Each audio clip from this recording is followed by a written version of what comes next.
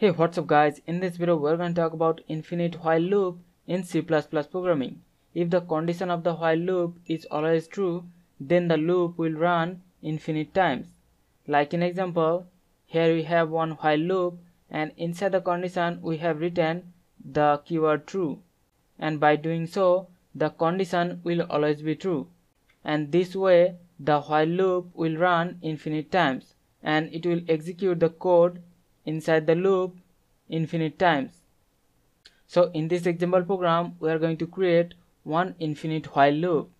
So first of all we have the while keyword and then inside the parenthesis I'm gonna write the keyword true and by doing so we are making the condition true all the time. So inside the curly braces we're gonna have the body of the while loop. So in every iteration I'm gonna print the string infinite onto the console.